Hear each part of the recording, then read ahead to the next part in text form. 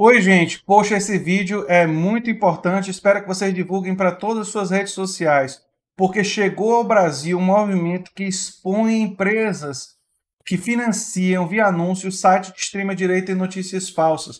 Na verdade, muitas dessas empresas fazem esse financiamento sem nem saber. E olha só, em pouquíssimo tempo de atuação do Sleeping Giants Brasil, que é uma filial do Sleeping Giants nos Estados Unidos, quer dizer, uma iniciativa é, inspirada na iniciativa americana, eles já conseguiram que o Banco do Brasil, a Dell, o Boticário, o Submarino e o Telecine retirassem as propagandas desses sites de extrema direita. Só para vocês entenderem, o Sleeping Giants Brasil é uma conta aqui no Twitter. Olha só, no Twitter tem 200, nesse momento que eu estou gravando o vídeo, tem 264 tweets, não é? Vocês podem ver aqui que tem 136 mil seguidores já. E a mensagem deles na, na capa do Twitter é: visamos impedir que sites preconceituosos ou de fake news monetizem através da publicidade. Muitas empresas não sabem que isso acontece. É hora de informá-las. E eles estão fazendo esse trabalho de informação. E olha só que legal. Como eu falei, o Banco do Brasil, a Dell, Boticário, Submarino e Telecine já retiraram a propaganda. E essa reportagem da El País traz, traz um pouco da, assim, do histórico, né? E de, de enfim, de, de, como veio isso. Ela é de Breilier Pires, né? É, com o intuito de minar a sustentação econômica de sites e canais ligados à extrema-direita, o movimento Sleeping Giants, que nasceu há quatro anos atrás nos Estados Unidos, fincou bandeira em solo brasileiro no último domingo. Após ler uma reportagem do El País sobre o perfil no Twitter que desidratou a publicidade online dos principais influenciadores ultraconservadores norte-americanos, e olha só, ele leu uma reportagem do El País e agora o El País está fazendo é, essa, essa reportagem sobre ele, né? Um estudante que desenvolve pesquisa a respeito de fake news decidiu criar uma conta em português para difundir a prática semelhante no Brasil, alertar a empresa de que seus anúncios aparecem em conteúdos pouco confiáveis, associados a notícias falsas e desinformação e alimentam o financiamento de páginas extremistas.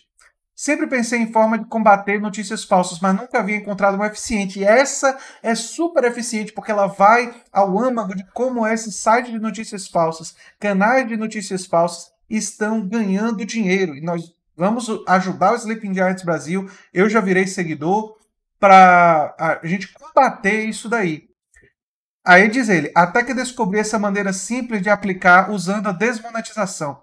Por questões de segurança, ele prefere não se identificar e celebra ter obtido aval dos precursores do Sleeping Giants para replicar a iniciativa.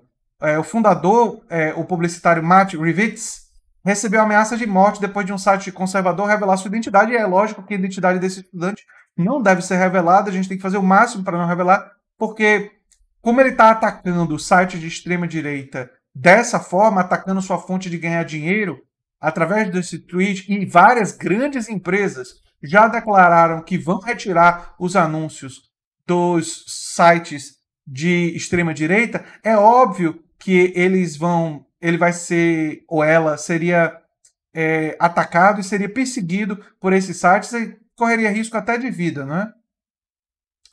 É, aqui tem mais detalhes, mas o, o, a página que foi o primeiro alvo do, do site foi o Jornal da Cidade, Olha só o que esse jornal da cidade disseminou. Em 2018, ele disseminou notícias falsas, informações distorcidas a favor da campanha de Jair Bolsonaro, como um artigo insinuando que segundo, no segundo turno da eleição, Ciro Gomes teria se decidido pelo voto no candidato de extrema direita.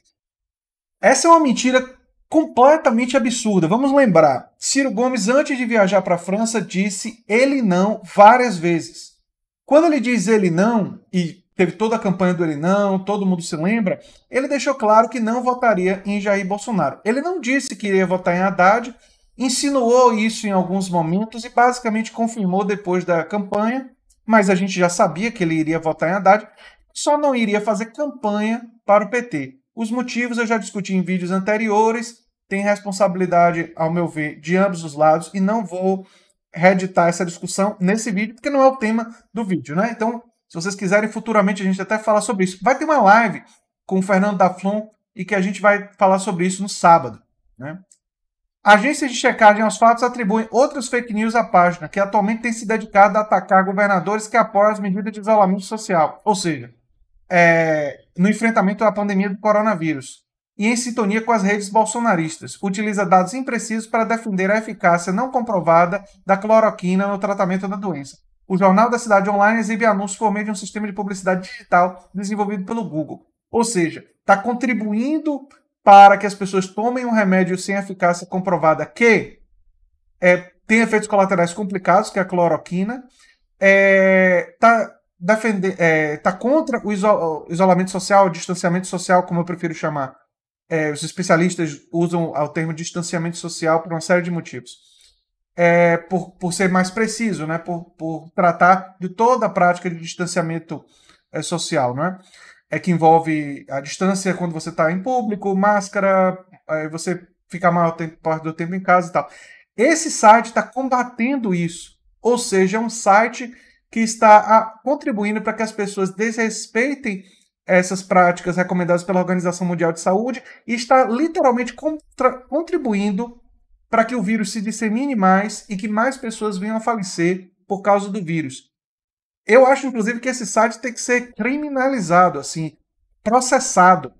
Né?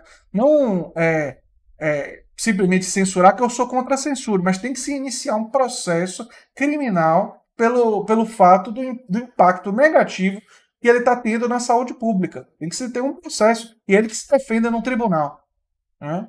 É, parte da democracia envolve que você pode ser processado quando você diz coisas que têm consequências observáveis. E você ser contra o distanciamento social nesse momento tem consequências. As cidades e os estados que abriram mão do distanciamento social tiveram uma explosão de casos de coronavírus e pessoas morreram por causa disso.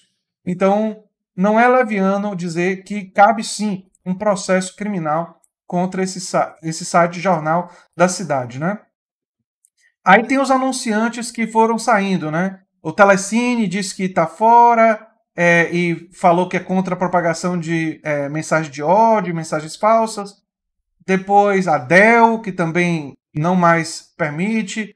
É, eu fiquei muito contemplado porque a, a, Submarino também fez a mesma coisa, né? O Submarino fez a mesma coisa e eu tinha acabado de comprar um headset na, na subma, no, no, Submarino. E aí eu fiquei, pô, ainda bem que a empresa que eu comprei o headset não, não, não tá mais fazendo isso, né? E aí depois eu me senti duplamente é, contemplado porque o Banco do Brasil fez a mesma coisa, né?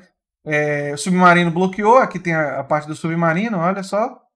E depois é, o Banco do Brasil também comunicou a retirada das propagandas, repudiando a divulgação de fake news. E aí o Carluxo, sim, ele resolveu ir para o Twitter e soltar um tweet. Tweet do Carluxo. É uma coisa assim absurda. Olha só o tweet do Carluxo. Né? é, ele disse, criticou e disse: o marketing do Banco do Brasil pisoteia em mídia alternativa que traz verdades omitidas. Não, não, Carlos, não traz verdades omitidas, não. Traz é muita mentira, muita fake news, muitas notícias falsas, como você gosta de fazer. E depois ele diz assim: não falarei nada, por dirão que estou atrapalhando.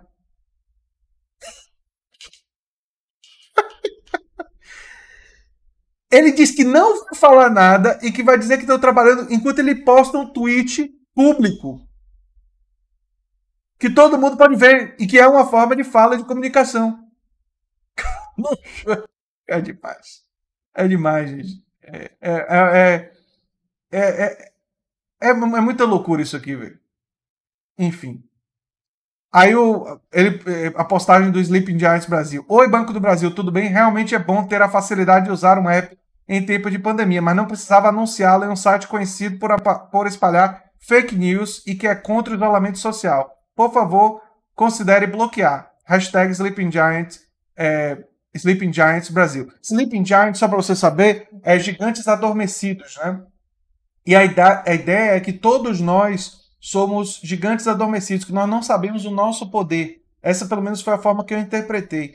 E que nós podemos, através da pressão às grandes empresas, tirar o financiamento, tirar a monetização dos sites de extrema-direita que estão é, vinculando notícias falsas. E se nós tirarmos o dinheiro deles, a gente sabe que esse pessoal está fazendo muito o que faz por dinheiro, para ganhar dinheiro.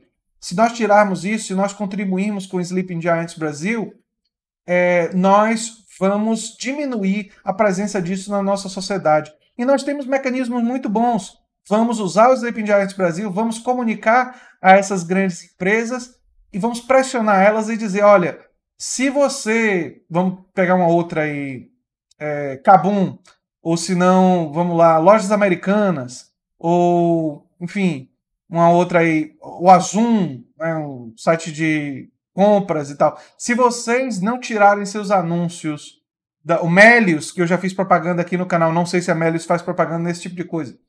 Se vocês não tirarem suas propagandas do site de direita, nós vamos fazer boicote, temos que pressionar, vocês estão contribuindo para site de extrema direita. E aí muitos deles vão ceder porque eles não querem, muitas dessas empresas não querem ficar associadas a esse tipo de coisa. Então é o sistema que permite vetar sites e canais específicos, né? E aí tem mais detalhes aqui no, no, no na reportagem do El País, vocês podem assistir.